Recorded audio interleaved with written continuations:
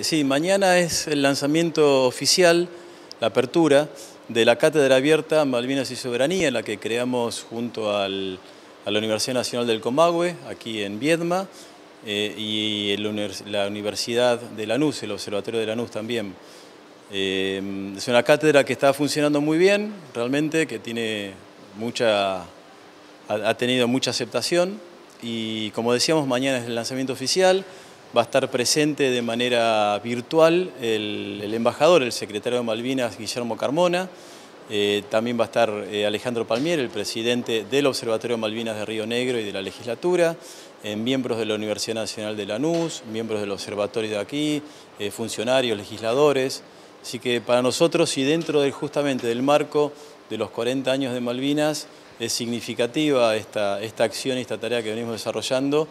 eh, y más desde la educación, como siempre decimos que es la herramienta fundamental para transmitir y difundir lo que es la causa Malvinas dentro de su contexto histórico de los 500 años que tiene de historia, ¿verdad? Mañana,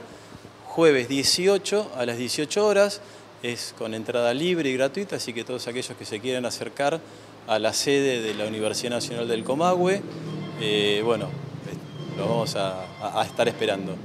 Bueno, y como continuidad también de estas acciones dentro de los 40 años, el viernes vamos a dar una charla eh, en la Universidad Nacional de Río Negro a las 18.30, también con la temática Malvinas y Soberanía. Bueno, así que los invitamos a todos y a todas los vecinos de aquí de Viedma a estas dos jornadas que tenemos, tanto mañana jueves a las 18 horas en la Universidad Nacional del Comahue y el viernes a las 18.30 en la Universidad Nacional de Río Negro.